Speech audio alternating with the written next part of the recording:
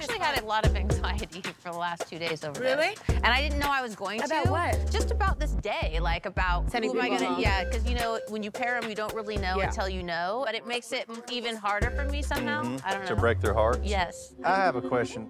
Are you guys underdressed or overdressed? It feels like you tried really hard on the top half and then you were like, nah, whatever, on the bottom half. It's well, by the time you got there. Wardrobe mullet. Right, exactly. Yeah. I like that.